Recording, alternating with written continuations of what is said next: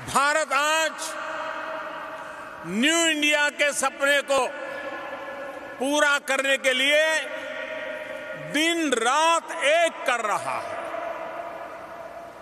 और इसमें सबसे खास बात है कि हम किसी दूसरे से नहीं,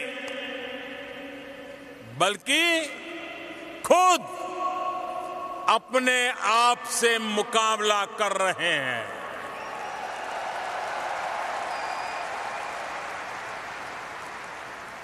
We are challenging ourselves. We are changing ourselves. साथियों, आज भारत पहले के मुकाबले और तेज गति से आगे बढ़ना चाहता है आज भारत कुछ लोगों की इस सोच को चैलेंज कर रहा है। जिनकी सोच है, कुछ बदल ही नहीं सकता है।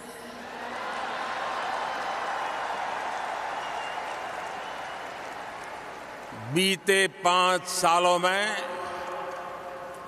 130 करोड़ भारतीयों ने मिलकर हर क्षेत्र में ऐसे नतीजे हासिल किए हैं जिनकी पहले कोई कल्पना भी नहीं कर सकता था। We are aiming high we are achieving higher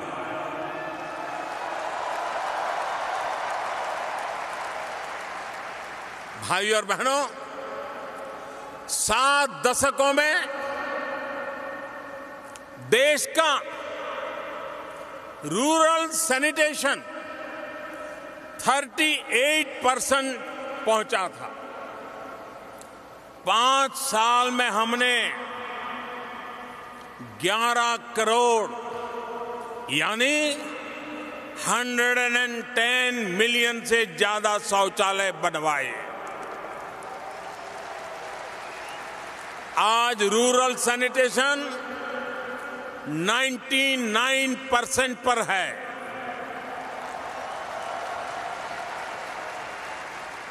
देश में कुकिंग गैस कनेक्शन भी पहले 55 प्रतिशत के करीब था। पाँच साल के भीतर भीतर हमने इसे 95 परसेंट पहुँचा दिया। सिर्फ़ पाँच साल में हमने 15 करोड़, यानी 150 मिलियन से ज़्यादा लोगों को गैस कनेक्शन से जोड़ा है। भारत में रूरल रोड कनेक्टिविटी यह भी पहले सिर्फ़ 55 परसेंट थी। पाँच साल में हम इसे 97 परसेंट तक ले गए।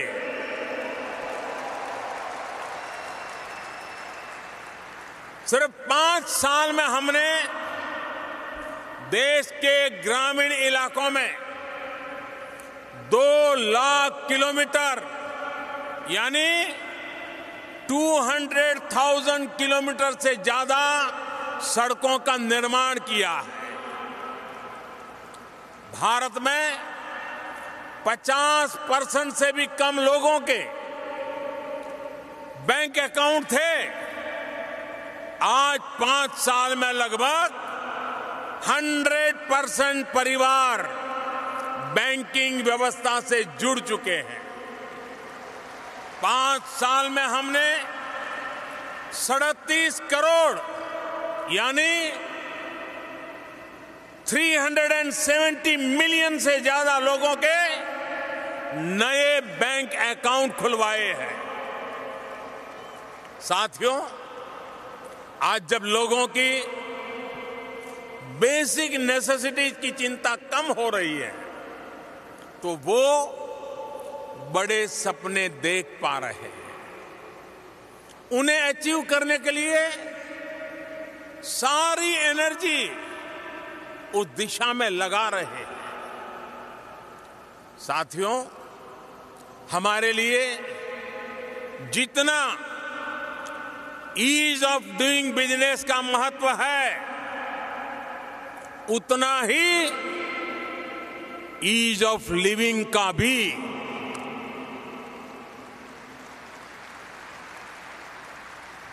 और उसका रास्ता है एम्पावरमेंट। जब देश का सामान्य मानवी एम्पावर होगा तो देश का सोशल और इकोनॉमिक डेवलपमेंट बहुत तेज गति से आगे बढ़ेगा। मैं आपको आज एक उदाहरण देता हूँ। साथियों आजकल कहा जाता है data is the new oil आप ह्यूस्टन के लोग ऑयल की जब बात आती है तो इसका मतलब भली भांति जानते हैं।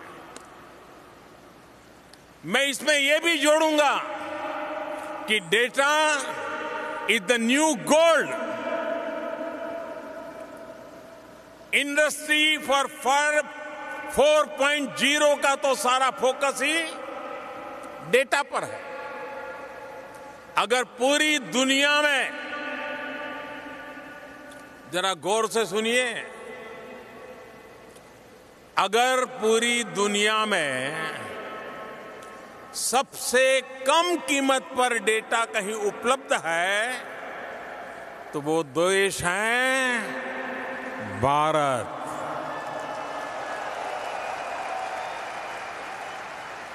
आज भारत में वन जीबी डेटा की कीमत है सिर्फ़ 25 टू 30 सेंट के आसपास। यानी एक डॉलर का भी चौथाई हिस्सा। और मैं ये भी बताना चाहूँगा कि एक जीबी डेटा की वर्ल्ड एवरेज की कीमत इससे 25 से 30 गुना ज़्यादा है। ये सस्ता डेटा भारत में डिजिटल इंडिया की एक नई पहचान बन रहा है। सस्ते डेटा ने भारत में गवर्नेंस को रीडिफाइन भी किया है। आज भारत में सेंट्रल गवर्नमेंट और स्टेट गवर्नमेंट्स की करीब करीब टेन थाउज़ेंड सर्विसेज़ ऑनलाइन उपलब्ध है। साथियों, एक समय था जब पासपोर्ट बनने में दो से तीन महीने लगते थे। अब एक हफ़्ते से भी कम समय में पासपोर्ट घर आ जाता है। पहले वीज़ा को लेकर किस तरह की दिक्कतें थी, ये शायद आप ज़्यादा जानते हैं। आज यूएस भारत के ई वीज़ा फैसिलिटी के सबसे बड़े यूज़र्स में से एक है। साथियों, एक समय था जब नई कंपनी के रजिस्ट्रेशन में दो दो तीन तीन हफ़्ते लग जाते थे। अब 24 घंटे में नई कंपनी रजिस्टर हो जाती है। एक समय था जब टैक्स रिटर्न भरना बहुत बड़ा सिरदर्द होता था। टैक्स रिफंड आने में महीनों लग जाते थे। अब जो बदलाव आया है, वो सुनेंगे तो आप चौंक जाएँगे।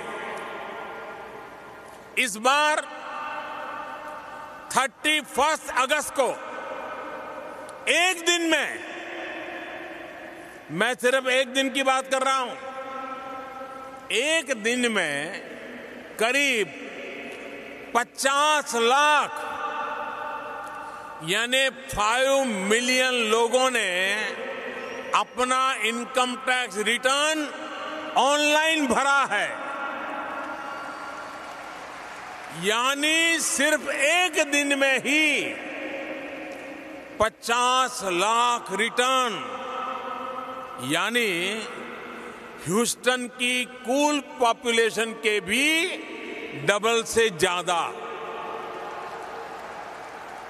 और दूसरी सबसे बड़ी बात, जो टैक्स रिफंड महीनों में आता था, वो अब हफ़्ते दस दिन में सीधे बैंक में ट्रांसफ़र हो जाता है। भाइयों और बहनों, तेज विकास का प्रयास कर रहे किसी भी देश में अपने नागरिकों के लिए वेलफेयर स्कीम्स आवश्यक होती है। जरूरतमंद नागरिकों के लिए वेलफेयर स्कीम चलाने के साथ साथ नए भारत के निर्माण के लिए कुछ चीज़ों का फेयरवेल भी दिया जा रहा है।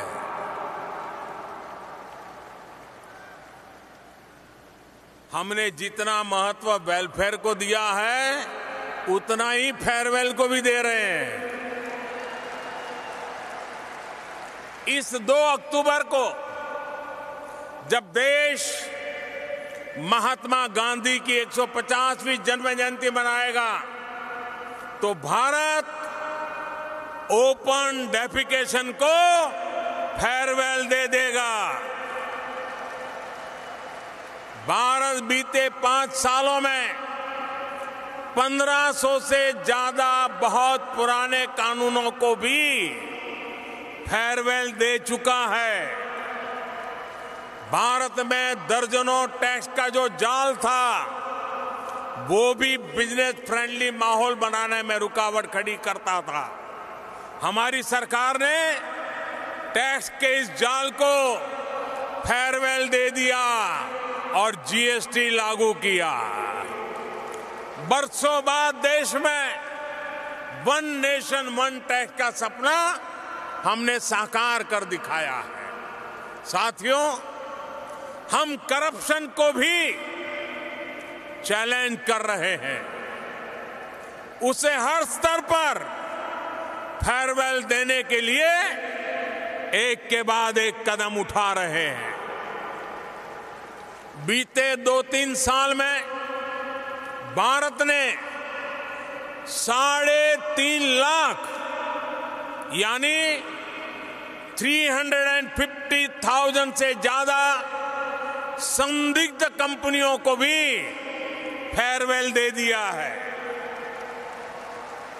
हमने 8 करोड़ यानी 80 मिलियन से ज़्यादा ऐसे फेक नेम्स को भी फेयरवेल दे दिया है जो सिर्फ़ कागजों पर थे।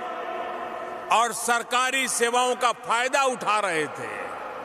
और साथियों, आप कल्पना कर सकते हैं, इन फर्जी नामों को हटाकर कितने रुपये गलत हाथों में जाने से बचाए गए हैं। करीब करीब डेढ़ लाख करोड़ रुपये, यानी तकरीबन 20 बिलियन यूएस डॉलर्स। एक देश में, हम देश में एक ट्रांसपेरेंट इकोसिस्टम बना रहे हैं, ताकि विकास का लाभ हर भारतीय तक पहुँचे। और भाइयों बहनों, एक भी भारतीय विकास से दूर रहे ये भी भारत को मंजूर नहीं है। देश के सामने सत्तर साल से एक और बड़ा चैलेंज था, जिसे कुछ दिन पहले भारत ने फेयरवेल दे दिया है।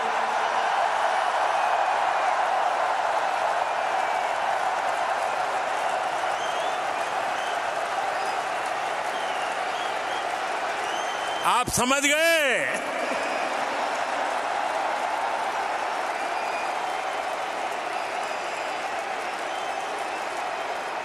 ये विषय है आर्टिकल 370 का।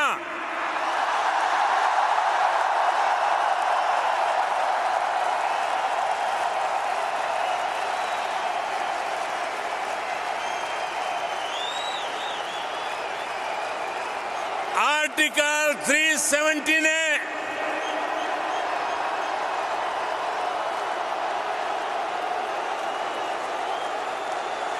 आर्टिकल 370 ने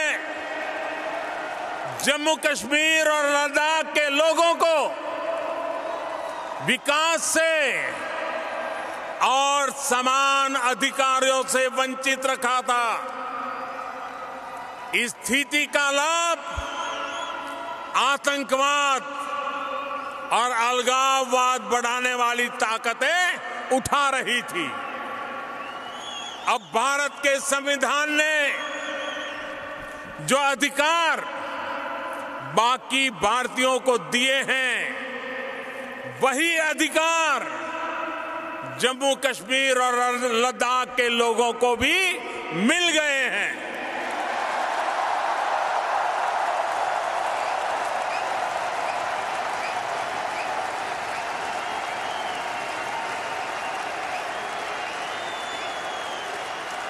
वहाँ की महिलाओं, बच्चों, दलितों के साथ हो रहा भेदभाव खत्म हो गया है।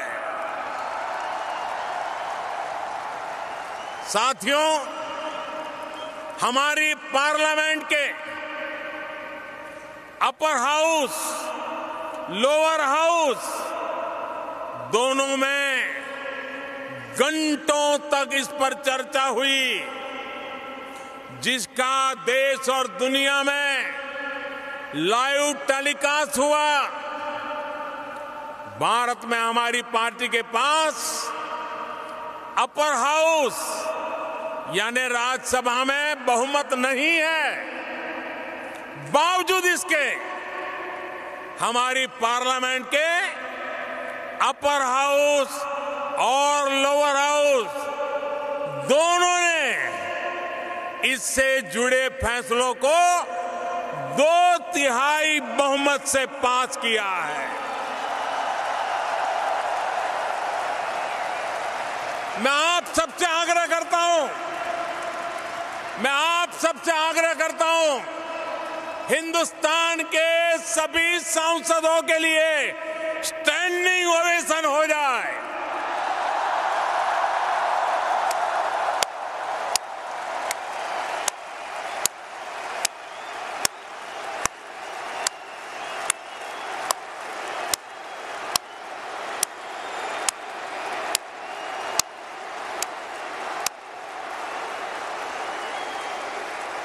हाँ। बहुत बहुत धन्यवाद आपका। भारत अपने यहाँ जो कर रहा है, उससे कुछ ऐसे लोगों को भी दिक्कत हो रही है।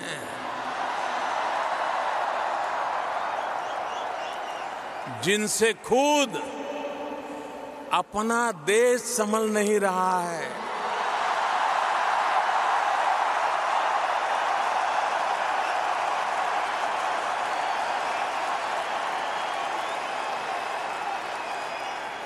इन लोगों ने भारत के प्रति नफरत को ही अपनी राजनीति का केंद्र बना दिया है। ये वो लोग हैं जो अशांति चाहते हैं, आतंक के समर्थक हैं, आतंक को पालते पोसते हैं। उनकी पहचान सिर्फ़ आप नहीं, पूरी दुनिया अच्छी तरह जानती है।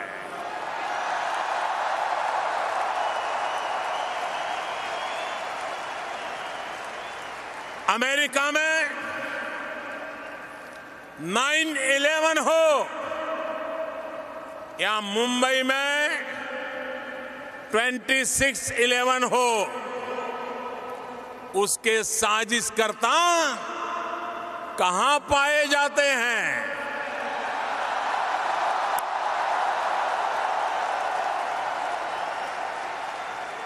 साथियों, अब समय आ गया है कि आतंकवाद के खिलाफ और आतंकवाद को बढ़ावा देने वालों के खिलाफ निर्णायक लड़ाई लड़ी जाए।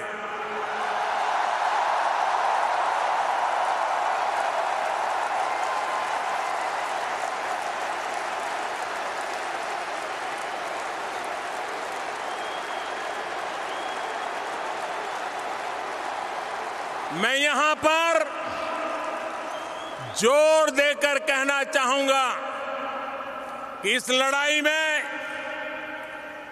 प्रेसिडेंट ट्रंप पूरी मजबूती के साथ आतंक के खिलाफ खड़े हुए हैं।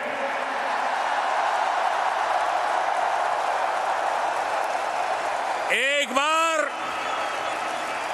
आतंक के खिलाफ लड़ने का राष्ट्रपति ट्रंप का जो मनोबल है, हम सब मिलकर के उनको भी स्टैंडिंग ओवेशन देंगे।